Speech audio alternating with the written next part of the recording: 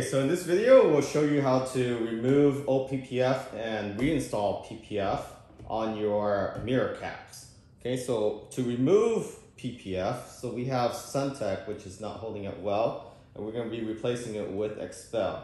So what you wanna do is put a towel, microfiber towel or any towel, get some boiling hot water from your kettle, and just pour from the top. And this will give it a little heat so you can easily remove it without leaving any residue where you would have to rub off.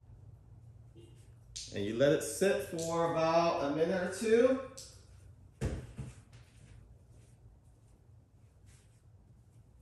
And then once it's nice and hot, you just remove the towel. And with a little heat, it makes it a lot easier.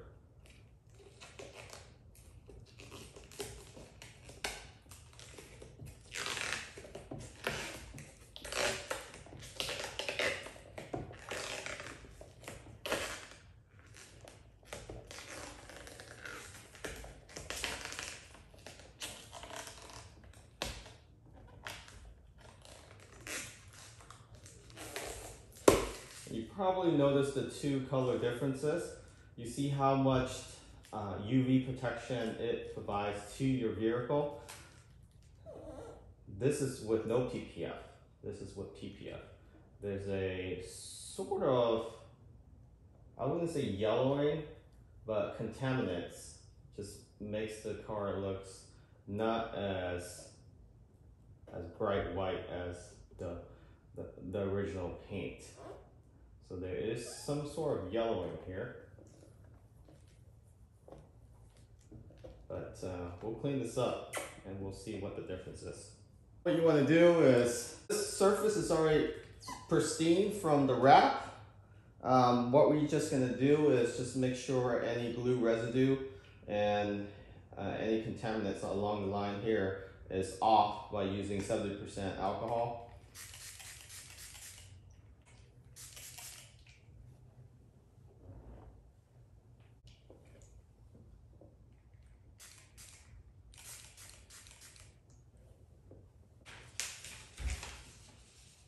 And what I like to do is cut off the section for the mirror caps only.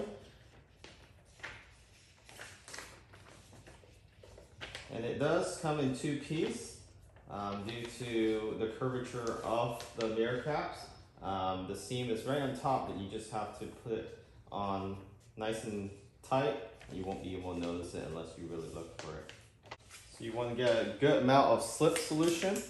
So this is just, there's six drops of baby shampoo, 24 ounce of water.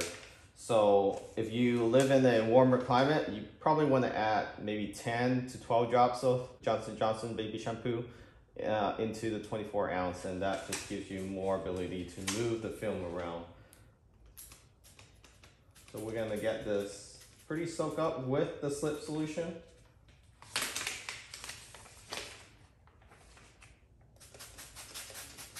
We're just gonna stick this on here.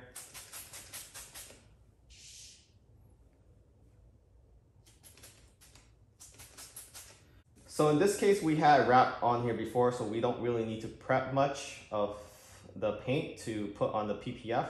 What you wanna do, if you don't have PPF before, uh, you wanna wash the car down very thoroughly, and then clay bar it, and then paint correction, you can buy compound online or at your auto parts store, and just buff any scratch or sore marks out. Um, you can avoid that whole process, but you know, it's preferred to do that to preserve your paint. If not, it's fine. It's not going to damage your paint. You put PPF on it. If there's minor sore marks or any scratches. However, uh, it's preferred if you want to do it right. That's that's normally what people would do uh, with the paint two-step paint correction. Uh, most PPF installer don't do that um, because it's already expensive to install PPF. A full PPF in the front end of a Tesla is about uh, 17 to 1900 dollars without paint correction so with paint correction you're looking at maybe another five eight hundred dollars or maybe even thousand for the whole vehicle but anyways um, after you do that you want to clean the surface down with a either alcohol, um, 70% alcohol. Let's just spray down the surface to make it more uh, slick and the PPF will adhere to it a lot better and it will last a long time. So in this case, we're gonna soak it down with slip solution and then soak the film down with slip solution. I like to start with the bottom film. And this is the do-it-yourself kit pre-cut from Drive Protected. And I'll post a link where you can find the website as well as 20% off using our promo code. And if you live in the US, you can get an additional 20% off of the current conversion rate between Canadian and US dollar. So this is a licensed certified XPEL company with a 10 year warranty. And you want to soak the back of the film before you apply it on so it doesn't so it doesn't stick and you're able to move it around a little bit.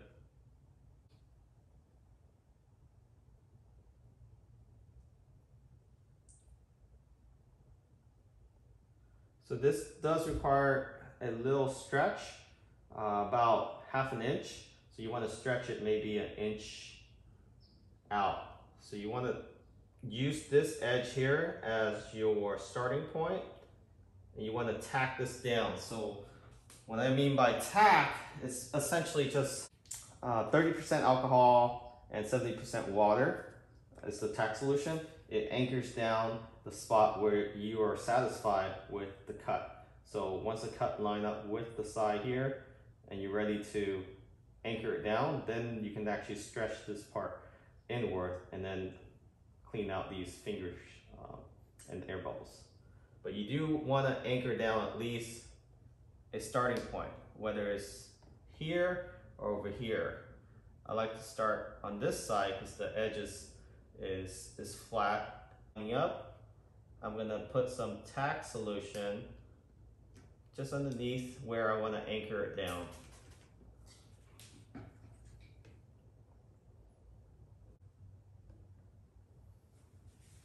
And then just squeegee out where you anchor it down.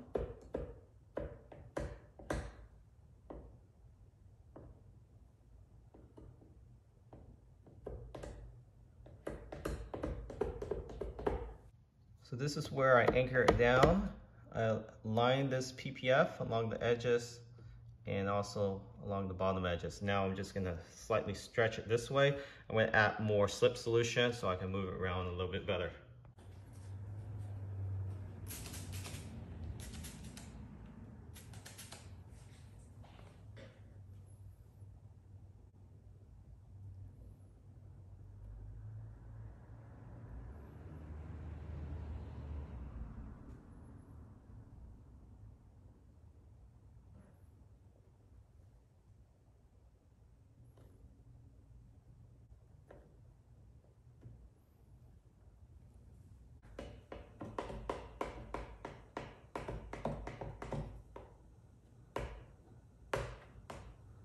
And then anchor down the other side with some tack solution so it stays into place.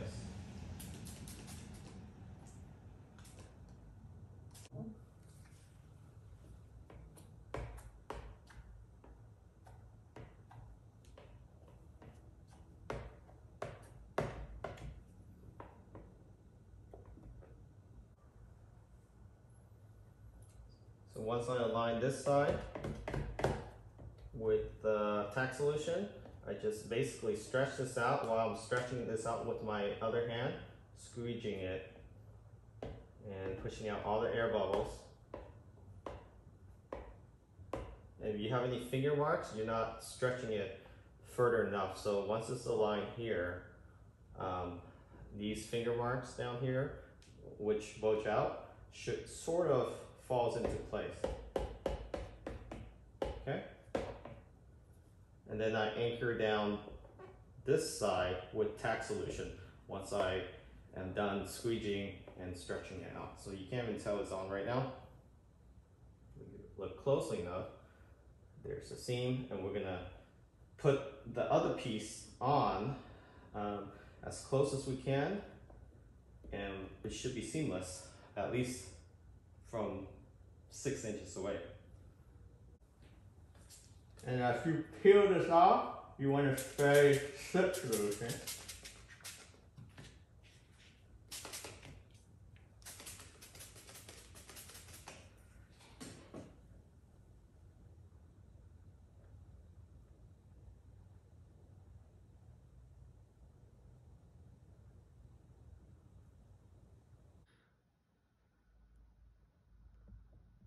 It literally just puzzle right in.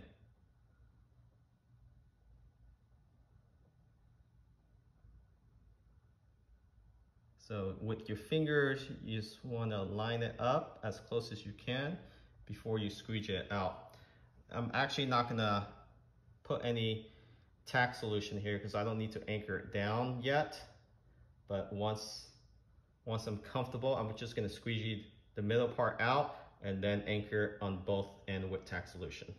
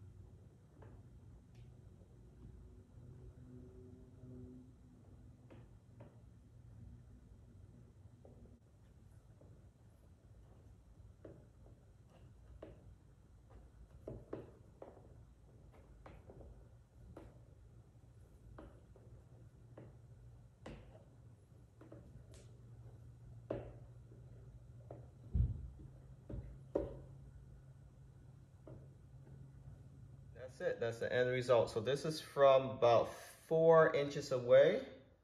So you can actually see the seam.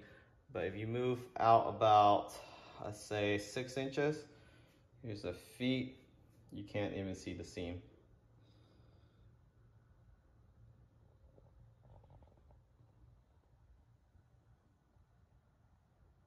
If you look closely, There's the seam right there. This is about two inches away. So you really have to look for it to find it. But yeah, that's how you install mirror caps, XPEL PPF. Then you let it dry for a few hours and then come check on it, see if any of the fingers come back up and just push it down with your fingers. Thanks for watching. Again, catch you all next time. Remember to subscribe.